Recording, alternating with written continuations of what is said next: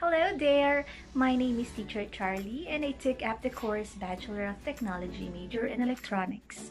Though my course was very far from teaching, but because of the passion within, I pursue my childhood dream.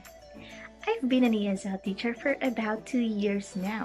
I acquired certificates such as TEFL or teaching English as a foreign language. My former students were Japanese and Chinese. I have a wide experience in terms of teaching from phonics to conversational English.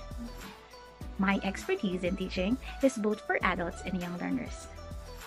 So come, join my class now and let's learn this wonderful language in a fun and easy way. Hope to see you soon.